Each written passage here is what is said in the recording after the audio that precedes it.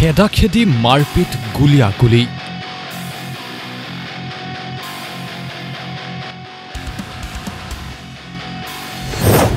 আৰু কটকী।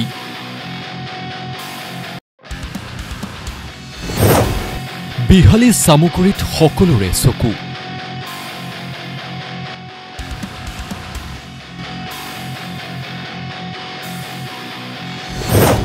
হিংসা বাহুবল আৰু পক্ষপাতিত্বৰ নতুন নিদৰ্শন।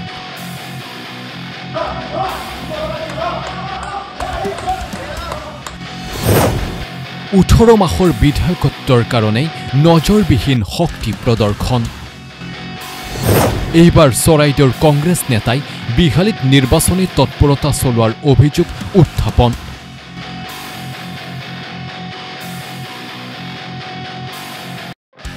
চৰাইদেউ জিলা কংগ্ৰেছৰ সভাপতি উৎপল গগৈক আটক কৰাক লৈ জিঞ্জিয়া আৰক্ষী থানাত উত্তপ্ত পৰিস্থিতিৰ সৃষ্টি হৈছিল।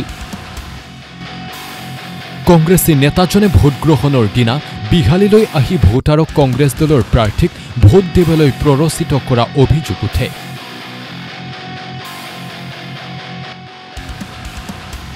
বাহিৰত সমষ্টিৰ কংগ্ৰেছী নেতাজনে বিহালীলৈ আহি ভোটগ্ৰহণৰ দিনাখন প্ৰচাৰ চলোৱা বুলি উত্থাপিত অভিযোগৰ তীব্ৰ প্ৰতিক্ৰিয়াৰ সৃষ্টি কৰিছে বিহালীত।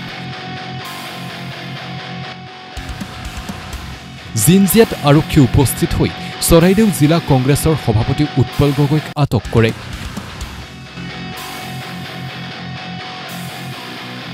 ইপিনে উৎপল গগৈৰ পক্ষলৈ বিহালীলৈ আহি কংগ্ৰেছ নেতা গৌৰৱ গগৈয়ে উৎপল গগৈক সুৰক্ষা দিবলৈ বিচৰা বুলিও উঠিছে অভিযোগ। সাংসদ গৌৰৱ গগৈ নাচৰ বান্দা চৰাইদেউ জিলা কংগ্ৰেছ সভাপতি উৎপল গগৈক মুকলি কৰি নিদিয়ালৈকে তেওঁ কোনো কাৰণতে জিঞ্জিয়া থানা এৰি নাযায়। অৱশেষত গৌৰৱ গগৈৰ প্ৰতিবাদত সেউমানী অসম আৰক্ষীয়ে মুকলি কৰি দিবলৈ বাধ্য হয় চৰাইদেউ কংগ্ৰেছ সভাপতিক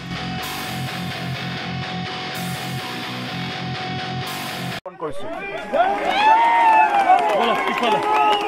মোক জিন্দাবাদ নালাগে আমি জিন্দাবাদ কৰিবলৈ অহা নাই। আপোনালোকে আজি আমাক সাহস দিছে। আপোনালোকে হ'ল আমাৰ তৃণমূল আচল বাস্তৱ শক্তি।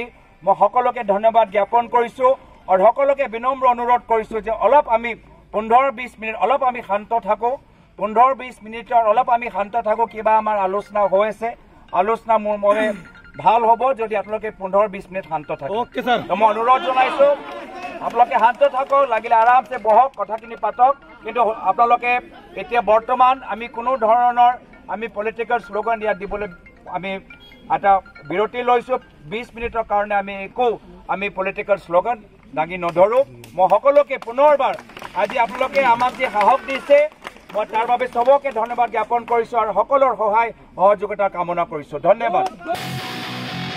ভোটগ্ৰহণৰ সময়ত সমষ্টিৰ বাহিৰৰ পৰা আহি কংগ্ৰেছৰ একাংশ নেতাকৰ্মীয়ে বিহালীৰ বুথে বুথে গৈ প্ৰচাৰ চলোৱা বুলি তীব্ৰ প্ৰতিক্ৰিয়া প্ৰকাশ কৰিছে মন্ত্ৰী পীযুষ হাজৰিকাই। মন্ত্ৰীগৰাকীয়ে আজি সদ্য সমাপ্ত উপ নিৰ্বাচন সন্দৰ্ভত গুৱাহাটীস্থিত তেওঁৰ চৰকাৰী বাসগৃহত এখন সংবাদমেল সম্বোধন কৰি উক্ত ঘটনাক গৰিহণা দিয়াৰ লগতে সংবাদ মাধ্যমৰ জৰিয়তে কংগ্ৰেছ দল তথা দলৰ শীৰ্ষ নেতা গৌৰৱ গগৈৰ পৰা কেইবাটাও প্ৰশ্নৰ উত্তৰ বিচাৰে। গৌৰৱ গগৈৰ দৰে ডাঙৰ নেতাই নিৰ্বাচনী আচৰণ বিধি উলংঘা কৰিব পাৰে নেকি? এজন বিখ্যাত ব্যক্তিৰ পুত্ৰ বুলিয়েই গৌৰৱ গগৈৰ বাবে সংবিধান প্ৰযোজ্য নহয় বুলি ভাবে নেকি? কিন্তু যোৱাকালি আমি দেখিবলৈ পালো যে কংগ্ৰেছ দলৰ নেতা কৰ্মীসকলে বাহিৰৰ নেতা কৰ্মীসকলে বিহালীত মুকলিকৈ বাহৰ পাতি থাকিলে। বেলেগৰ পৰা আহি বিহালীৰ পৰা আনকি বিহালীৰ নহয় আনকি বিশ্বনাথ চাৰিআলি নহয়। মই বিহালীটো বাদেই দিলোঁ। আনকি বিশ্বনাথ চাৰিআলিৰো বাহিৰৰ ডিষ্ট্ৰিক্টৰ পৰা গৈ কংগ্ৰেছৰ নেতাসকলে বিভিন্ন ইলেকশ্যনৰ বুথত গৈ কালিও কেম্পেইন কৰা আমি দেখা পালোঁ। এই এই ঘটনাটো it's a clear violation of election code of conduct তাৰ মই প্ৰতিবাদ কৰিছোঁ। আৰু এনেকৈ যাতে কংগ্ৰেছ দলে নকৰে ভৱিষ্যতে তাৰ কাৰণে আহ্বান জনাইছোঁ। আটাইতকৈ গুৰুত্বপূৰ্ণ ঘটনা আমি সকলোৱে যাক বিজ্ঞ বুলি ভাবোঁ এজন অসমৰ নেতা ভাৰতবৰ্ষৰ কংগ্ৰেছ দলৰ ডেপুটি লিডাৰ গৌৰৱ গগৈ ডাঙৰীয়াই কালি যোৱাকালিও আনকি বিহালীৰ বুথে বুথে গৈ কেম্পেইন চলোৱা আমি দেখা পালোঁ। সাধাৰণ কৰ্মী এজনটো বাদেই দিলোঁ। কিন্তু গৌৰৱ গগৈৰ দৰে এজন নেতাই যিগৰাকী কংগ্ৰেছ দলৰ লোকসভাত ডেপুটি লিডাৰ যিগৰাকী ব্যক্তি দ্বিতীয়বাৰৰ কাৰণে সাংসদ হৈছে সেই ব্যক্তিগৰাকীয়ে চাইলেণ্ট পিৰিয়ডত আৰম্ভ হোৱাৰ পাছত লোৱাৰ লগে লগে গুচি নাহি বিহালীতে বাহৰ পাতি থাকিলে আৰু যোৱাকালিও যোৱাকালিও বুথে বুথে গৈ কেম্পেইন কৰিলে। মই গৌৰৱ গগৈ ডাঙৰীয়াৰ পৰা উত্তৰ বিচাৰিছোঁ তেখেতে কালি কোনটো নিয়মৰে বিহালীৰ বুথে বুথে গৈ কেম্পেইন কৰিছিল? মই কংগ্ৰেছ দলৰ বেলেগ নেতা কৰ্মীৰ কথা বাদ দিলোঁ। কিন্তু গৌৰৱ গগৈ এগৰাকী ডাঙৰ নেতা তেখেত সাংসদ তেখেত বিৰোধী দলৰ লোকসভাত ডেপুটি লিডাৰ।